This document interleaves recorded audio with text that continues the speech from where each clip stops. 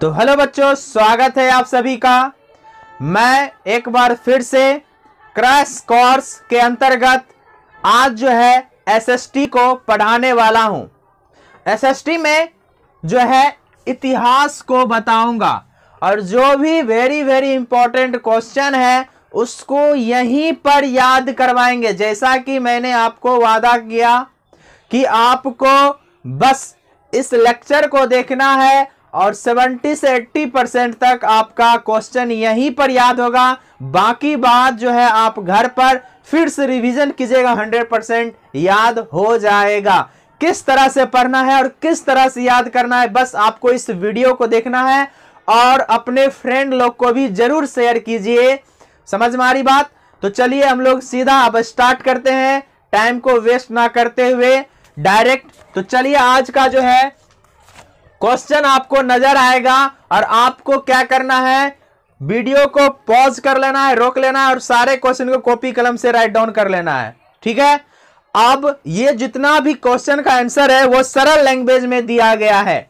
Okay? तो चलिए तो आपको दिख रहा होगा, फ़र्स्ट क्वेश्चन है कि इटली के एकीकरण में मेजनी का क्या योगदान था? तो प्रश्न आपको नज़र आ गया होगा, साथ में उसका उत्तर भी। तो ध्यान से देखिए, फिर से एक बार हम पढ़ रहे हैं, इटली के एकीकरण में मेजनी का क्या योगदान था? तो सबसे पहले हमें करना क्या इसका आंसर लिखने के लिए? सबसे पहले इसमें आया मेजनी। तो हम लोग क्या करते हैं? आंसर देने के लिए थोड़ा सा मेजनी के बारे में लिखेंगे। ठीक है, एक बार हम पढ़ देते हैं, इसमें क्या लिखा हुआ है? तो कह रहा है, मेजनी एक महान साहित्यकार, गणतांत्रिक विचारों का समर्थक और योग्य सेनापति था। वह हर हालत में इटली का एकीकरण करना चाहता था।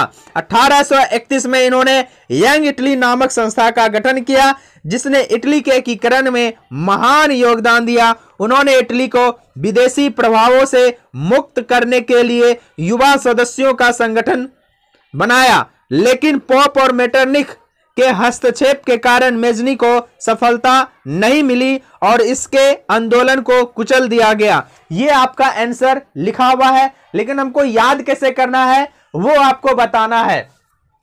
तो इससे हमें कीवर्ड को निकालना है। कीवर्ड जो है की वर्ड जो है, मेजनी के बारे में पहले लिखना है। तो मेजनी जैसे देखो, याद करने के लिए क्या करोगे? पहले मेजनी के बारे में निकालो अच्छा मेजनी कौन था? जैसे हम ही है, हम कौन हम एक टीचर है। इसी प्रकार मेजनी कौन है? तो मेजनी के लिए हम बताएँगे एक महान साहित्यकार थे। कैसा था? साहित्यकार। वो साहित्यकार, लिखकार थे और गणतांत्रिक गणतांत्रिक, ठीक है? गणतांत्रिक विचारों के समर्थक थे। विचारों के के समर्थक समर्थक थे, ठीक है? समर्थक थे और योग्य सेनापति था। और कैसा सेनापति थे? सेनापति। तो आप याद पहले इतना लाइन कीजिए। जैसे फल्लमा क्या था? तो फल्लमा ये था। मेजनी के बारे में पहले लिखेंगे, उसके बाद हम बताएँगे। पहले इसको याद करो। मेजनी, साहित्यकार, गणतांत्रिक विचारों के समर्थक एंड योग्य सेनापति। कैसा सेनापति? योग्य सेनापति। इतना याद हुआ? देखो, हम बता देते साहित्यकार गणतांत्रिक विचारों के समर्थक और सेनापति। इसमें से कम से कम दो भी याद कर लेना। सेनापति तो ज़रूर याद करना, क्योंकि सेनापति आपको भूलना नहीं है। वह कैसा था मेजनी, एक योग्य सेनापति थे। पति थे? सेनापति थे? कैसा पति थे? सेनापति थे, योग्य सेनापति थे, साहित्यकार साहित्यकार और एक योग्य सेनापति थे। इतना याद हुआ? अब उसके बाद आगे हम आपको बताते इन्होंने क्या करना चाहा इटली के एकीकरण में? तो ध्यान देना तो इन्होंने क्या किया? देखो, इसमें हम लिखा दे रहे इन्होंने वह हर हालत में इटली का एकीकरण करना चाहते थे। इसका उद्देश्य क्या था? एकीकरण करना। एकीकरण करना। किसमें? हर हालत में इटली का एकीकरण करना चाहते थे। और उन्होंने क्या किया? 1831 में उन्होंने 1831 में यंग इटली यंग इटली का निर्म, का, यंग इटली संस्था का गठन किया। यंग इटली संस्था का गठन किया। आपको यह याद रखना है। अगर डेट नहीं भी याद रहे तो कोई बात नहीं। यंग इटली संस्था का क्या किया उन्होंने? गठन किया। आगे हमारे पास लिखा हुआ है। हाँ जिस जिसने इटली के एकीकरण में महान योगदान दिया, उन्होंने इटली को विदेशी प्रभाव से रोका। अब देखो, एक प्रभाव है। प्रभाव मतलब किसका प्रभाव? विदेशी प्रभाव। विदेशी प्रभाव। विदेशी प्रभाव। विदेशी प्रभाव को रोका। ठीक है? विदेशी प्रभाव से मुक्त करने के लिए उन्होंने सदस्य युवा सदस्यों का संगठन बनाया, लेकिन पोप और मेटरनिक के हस्तक्षेप के कारण। किसके हस्तक्षेप के कारण? पोप पोप और मेटरनिक मेटरनिक मेटरनिक ठीक. ऑस्ट्रिया के चांसलर थे. ये याद रखना. ऑस्ट्रिया के चांसलर मेटरनिक कौन थे? अब देखो हम, अब देखो सिंपल सा हम इसको, आपको बताते हैं. बस आपको इतना ये वर्ड अगर याद रहा तो सिंपल से याद रखना. ठीक है? तो पहला नंबर हमें मेजनी का डिफिनेशन करना है. मेजनी होता क्या? इतना अगर याद हो गया तो आपको ये क्वेश्चन आंसर याद हो जाएगा. देखो सिंपल सा. मेजनी कौन था? तो मेजनी एक साहित्यकार या महान साहित्यकार, लगा सकते हो। या साहित्यकार भी जोड़ सकते हो, महान छोड़ भी दो, कोई दिक्कत की बात नहीं है। तो एक महान साहित्यकार, गणतांत्रिक विचारों के समर्थक और योग्य सेनापति। कैसा सेनापति? योग्य सेनापति थे। अब देखो, बीच में छूट गया था, अपना मन से भी लगा उन्होंने, अब देखो क्वेश्चन में देखो क्वेश्चन में क्या था? उन्होंने इटली के एकीकरण में महान योगदान दिए। इतना लिख सकते हो? महान योगदान दिए। उन्होंने इटली के एकीकरण में, है ना, अठारह सौ इकतीस ईस्वी में, है ना, यंग इटली संस्था का गठन किया, जिसमें इसका उद्देश्य था कि इटली में विदेशी प्रभाव को मुक्त करना। क्या था? विदेशी प्रभाव को मुक्त करना। ठीक है? ठीक है, इसलिए उन्होंने क्या किया? सारे युवाओं को युवाओं को क्या किया? एक साथ किया। अब युवाओं में जानते ही हो, बहुत सारा ताकत होता है है ना, हम जो जोशीले होते हैं है ना? युवा सब कितना होता है? जोशीले होते हैं, तुम लोग बहुत जोशीले हो है ना? तो युवाओं को क्या किया? एकत्रित किया, लेकिन लेकिन पोप और मेटरनिक के कारण जो है, उनका जो, है ना? उनका ये जो जो ये संघर्ष कर रहे थे, इटली के एकीकरण में जो उन्होंने संघर्ष कर रहे थे, उसको क्या किया? मेटरनिक के कारण ये क्या किया? ये होना असंभव हो गया। यानी इसके जो सपना था इसको कुचल दिया गया। यानी इटली के एकीकरण में जो था सबसे बड़ा जो था लेकिन इटली के एकीकरण में सबसे बड़ा जो था आ, बोल सकते हैं वाधाएँ वाधाएँ पोप और मेटरनिक था ठीक है? बात समझ में आया? याद हुआ? याद हुआ क्वेश्चन की नहीं पहले ये बताओ। याद हुआ कि नहीं? हम फिर से एक बार बता देते क्योंकि देखो ये सब क्वेश्चन बार बार पूछा जा रहा है। इसीलिए आपको याद होना बहुत ज़रूरी है। फिर से देखो हम बता रहे तो मेजनी मेजनी एक महान साहित्यकार गणतांत्रिक विचारों के समर्थक थे और एक योग्य सेनापति थे। उन्होंने इटली के एकीकरण में एक महान योगदान दिया। ठीक है, अठारह में उन्होंने यंग इटली का संस्था का नाम संस्था का गठन किया गठन किया, जिसका उद्देश्य था विदेशी प्रभाव को क्या करना, खत्म करना, जिसके लिए उन्होंने इटली के युवाओं को क्या क्या, इकट्ठा किया। लेकिन लेकिन सबसे बड़ी बाधाएँ जो थी पोप और मेटरनिक थे, जिसके वजह से यह यह जो था, इटली का एकीकरण का जो सपना था, वो इस मतलब इसका सपना को कुचला गया। किसको? किसको? किसको? किसके सपना को? तो ये मेजनी के सपना को कुचला गया। आई थिंक आपको याद हो गया होगा। अगर नहीं याद हुआ होगा तो एक बार फिर से आप वीडियो को देखिए, ज़रूर याद होगा। ठीक है? दूसरा प्रश्न है, उन्नीस सौ उन्नीस ईस्वी के आर्थिक संकट के किन्हीं तीन कारणों का संक्षिप्त विवरण दे। ठीक है? तो हमें जो उस समय, उन्नीस सौ उनतीस के समय जो संकट हुआ था, उसके बारे में हमको लिखना है। तो लिख लेंगे, पहला लाइन तो लिख लेंगे इसी को देख के। उन्नीस ईस्वी के आर्थिक संकट के निम्नलिखित तीन कारण थे। तो पहला, हम पढ़ देते हैं पहला, अति उत्पादन। विश्व, प्रथम विश्व युद्ध के समय और उसके बाद कृषि के क्षेत्र में अति उत्पादन हो गई, लेकिन उसे खरीद सकने वाला लोग बहुत कम थे। इसलिए कृषि उत्पाद पड़ी पड़ी सरने लगे, जिससे किसानों को बहुत हानि हुई। तो पहला इसमें पॉइंट हमको देना है। तो देखो, इससे कीवर्ड निकालते तो देखो, पहला यही है कि अति उत्पादन, ठीक है? अति उत्पादन। तो अति उत्पादन से आप याद रखना, पहला पॉइंट है। तो अति उत्पादन से क्या हुआ? तो प्रथम विश्व युद्ध के समय और उसके बाद, है ना, प्रथम विश्व युद्ध के समय और उसके बाद कृषि के क्षेत्र में अति उत्पादन हुए। यानी कि जब प्रथम विश्व युद्ध हुआ, प्रथम विश्व युद्ध के बाद, किसके बाद? प्रथम विश्व युद्ध के बाद जो है, खेत में अधिक काम होने लगा। यानी उत्पादन होने लगा। खेत मतलब कृषि में। कृषि में क्या हुआ? बहुत उत्पादन हुआ। आप इसको देखो अपना सिंपल भाषा में याद रखना। बहुत उत्पादन हुआ, ठीक है? लेकिन बहुत ज़्यादा, देखो, क्या होता है मार्केट में? जैसे आप समझ जाइए कि जैसे कि मार्केट में अगर कोई चीज़ ज़्यादा आ गया तो उसका भाव ऑटोमेटिक क्या होता है? गिर जाता है। समझ, जैसे अभी ठंडी है, जैसे पहले जो था, टमाटर जो था, चालीस, पचास, साठ, अस्सी तक बिकता था, लेकिन जैसे ही बहुत ज़्यादा टमाटर गिरने लगा या गोभी गिरने लगा तो उसका जो कीमत है ऑटोमेटिक क्या हो गया? गिर गया। अब पंद्रह रुपए, बीस रुपए किलो दे रहा है। कितना? गिर गया। यानी कहने का मतलब जिसका उत्पादन अधिक होगा, उसका भाव गिर जाएगा। और कुछ समय बाद और ज़्यादा होगा तो उसको खरीदेगा भी नहीं। तो नहीं खरीदेगा तो क्या होगा? वह जो सामान या तो सस्ता सस्ता हम बेच दे, या फिर नहीं बिकेगा, वो सस्ता भी लोग नहीं लेगा तो ऑटोमेटिक है, वो क्या होगा? सड़ने लगा, गलने लगा, खराब हो जाएगा। वही कारण था यहाँ पर। आपको दिमाग में कहानी याद आया? तो उसी तरह इसको चिपका दो। तो देखोगे कि अति उत्पादन, प्रथम विश्व युद्ध के बाद जो कृषि में क्या हुआ? बहुत ज़्यादा क्या हुआ? उत्पादन हुआ, अति उत्पादन हुआ, ठीक है? अति उत्पादन हुआ, समझ मारी है? लेकिन उसे खरीद सकने वाला लोग बहुत कम था। अब देखो, उत्पादन अधिक हो गया। कृषि से उत्पादन क्या हुआ? उत्पादन क्या हो गया? अधिक हो गया, लेकिन खरीदने वाला क्या था? खरीदने वाला कम था। नीचे डाउन मतलब हो गया एरो मतलब कम। इसका मतलब क्या होता है? कम। और इसका मतलब ज़्यादा। एरो ऊपर दे तो इसका मतलब समझना ज़्यादा। तो सिंपल सा बात है। प्रथम विश्व युद्ध के बाद जो है, कृषि उत्पादन में अत्यधिक वृद्धि हुई। लेकिन, ठीक है, ज़्यादा हो गया, लेकिन खरीदने वाला बहुत कम था। क्या था? कम था। इसलिए कृषि उत्पादन क्या हुआ? धीरे धीरे क्या हुआ? सरने लगा। सरने सरने लगी। सरने लगी। धीरे धीरे क्या लगा? सरने लगी। जिससे किसानों को क्या हुआ? बहुत बड़ा हानि हुआ। अब किसान को क्या हुआ? किसान को तो हानि होगा। किसान को क्या होगा? डाउन हो गया मतलब कमी हो गया, हानि हुई। घाटा लग गया। तो किसानों को तो पहला नुकसान ये हुआ। समझ मारी बात? चलो, दूसरा हम बताते तो दूसरा है अमेरिका।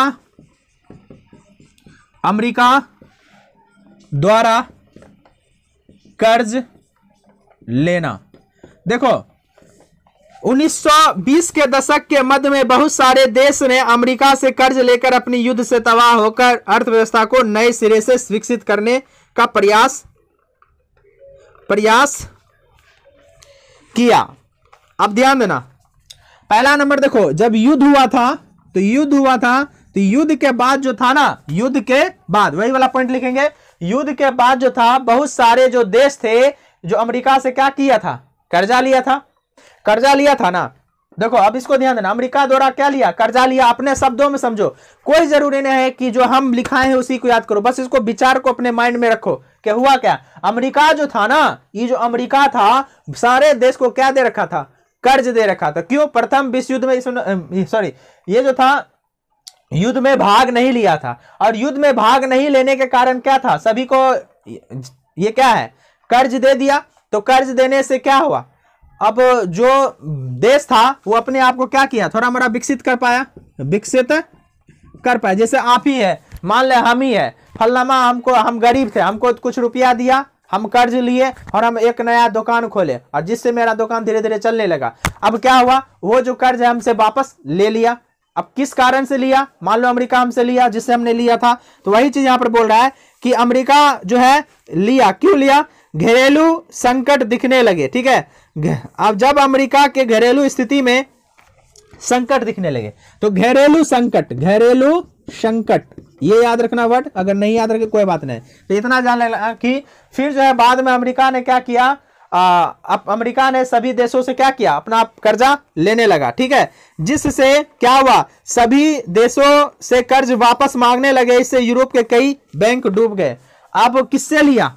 यूरोपीय देश ज़्यादा विकसित था, अब ध्यान देना। यूरोपीय देश बहुत ज़्यादा विकसित था, और वो भी युद्ध में सबसे बड़ा नुकसान उसी का हुआ। अब कर्ज कौन लेगा? वही लेगा जो नुकसान किया है अपने आप को। अब अमेरिका ने क्या किया? उसको अमेरिका ने क्या किया? अमेरिका ने सारे यूरोपीय कंट्री को जो कर्ज दे रखा था, वापस ले लिया। जिसके वजह से क्या हुआ? वहाँ का जो बैंक था, वो डूब गया।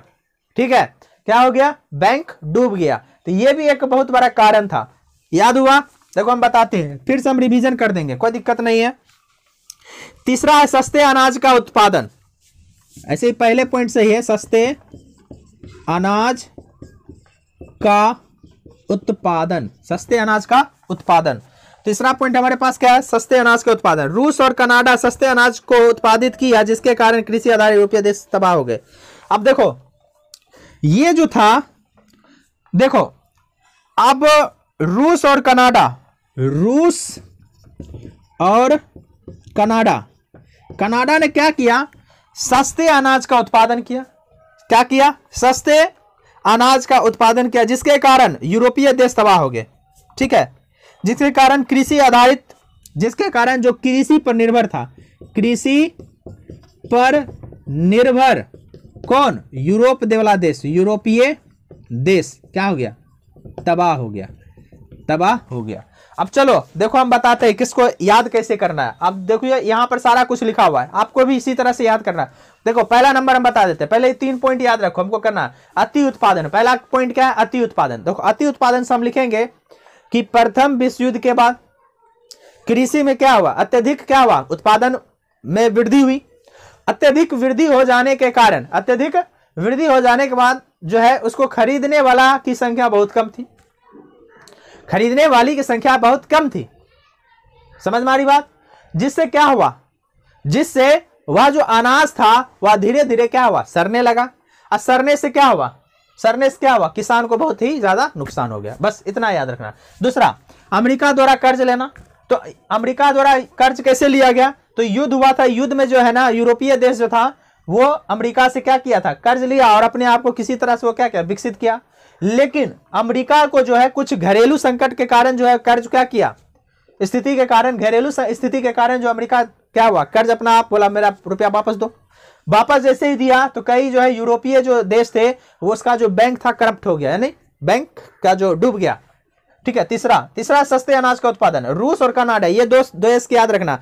ये जो था, है ना ये क्या किया अपने कृषि को अत्यधिक उत्पादन किया, ठीक है? रूस और कनाडा ने कृषि को बहुत ज़्यादा क्या किया? उत्पादन किया। फिर कृषि में बहुत ज़्यादा उत्पादन किया, जिससे जो था, कृषि पर निर्भर जो यूरोपीय देश था, वो क्या हुआ? तबाह हो गया। बस सिंपल से तीन पॉइंट है, आपको याद होना एक बार और बता देते अति उत्पादन से याद रखना, प्रथम विश्व युद्ध।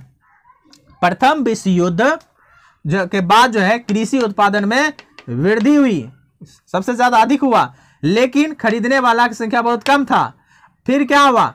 अनाज जो है धीरे धीरे सड़ने लगी, जिस वजह से किसान क्या हुआ? बर्बाद हो गया, ठीक है? यानी हानि हो गया, घटा लग गया। दूसरा कारण था अमेरिका द्वारा कर्ज लेना। अमेरिका जो द्वारा जो कर्ज लिया गया, देखो, जब युद्ध हुआ तो युद्ध के साथ जितना भी विकसित देश था मतलब सॉरी यूरोपीय देश, यूरोपीय यूरोपीय देश तो यूरोपीय देश क्या हुआ? कर्ज लिया। कर्ज लेने के बाद क्या हुआ? अपने आप को किसी तरह से थोड़ा मोड़ा विकसित किया। और अब अमेरिका ने क्या किया? अपना घरेलू संकट को देख के बोला कि अब मेरा रुपया वापस दे दो यूरोपीय कंट्री। तो जैसे उसने दिया तो थोड़ा सा जो भी विकसित हुआ था, अब जितना कर्ज लिया था, उसमें तो कुछ खत्म भी किया था ना।